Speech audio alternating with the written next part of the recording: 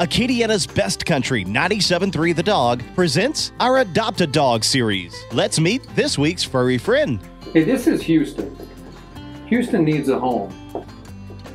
He's been in the he's been in rescue for almost four years. Oh wow. His brother Austin was just adopted. So his brother has gone on to a family that he can call his very own, and Houston would like to come to your house and be your dog.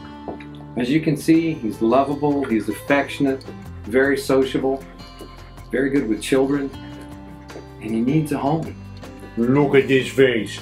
Look at this face. You can't deny this fellow. He deserves a wonderful home with a wonderful family, just like yours. Would you consider taking Houston to be your dog? Because he would sure love to be your dog.